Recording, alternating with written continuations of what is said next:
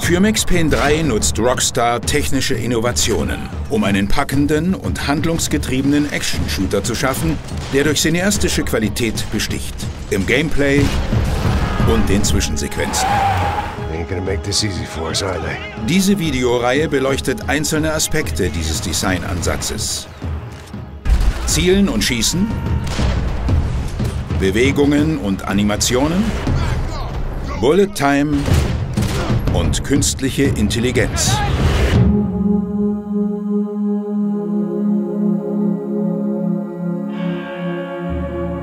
Um einen präzisen, intuitiven, realistischen Third-Person-Shooter zu entwickeln, wurde die Waffenmechanik in Max Payne 3 detailliert ausgearbeitet. Man kann sich trotz der Präzision eines First-Person-Shooters wie in einem Third-Person-Spiel mit dem Charakter identifizieren. Im Kern basiert diese Mechanik auf genauer Kontrolle über das Fadenkreuz. Sie erlaubt hohe Präzision, aber trotzdem realistische Bewegungen.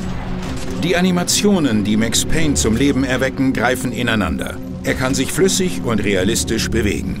Das Ziel bleibt dabei immer im Visier. Und das aus jedem erdenklichen Winkel, auch im Liegen.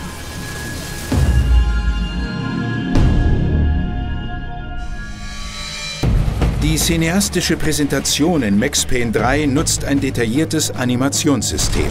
Max flüssige und realistische Bewegungen sind das Ergebnis unzähliger einzelner Animationen, die durch automatisch generierte Physikeffekte ergänzt und dynamisch verbunden werden. So folgt die Figur den physikalischen Regeln ihrer Welt. Bullet Time war immer schon das strategische und ästhetische Kernelement der Max Payne-Reihe. Schusswechsel müssen rasant genug sein, damit Bullet Time Sinn macht, aber bei jedem Tempo auch gut aussehen. Die vielen Einsatzmöglichkeiten von Bullet Time stehen deshalb im Mittelpunkt. Jede Kugel wird physikalisch korrekt in Echtzeit berechnet. Dynamische Kamerafahrten verwenden Bullet Time und dramatische Perspektiven. Jede ist einzigartig, abhängig von der gewählten Waffe, der Flugbahn der Kugel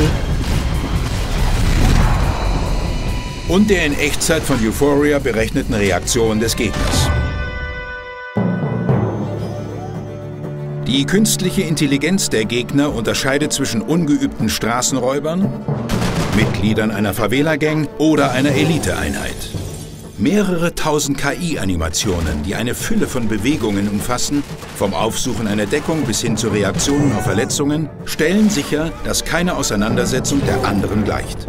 Gegner reagieren unterschiedlich auf Treffer, je nach Durchschlagskraft der Waffe. Einschusswinkel, Körperhaltung und Umgebung. Max Payne 3 verknüpft all diese Technologien und ermöglicht so spektakuläre Schusswechsel in einer unglaublich detaillierten Spielwelt.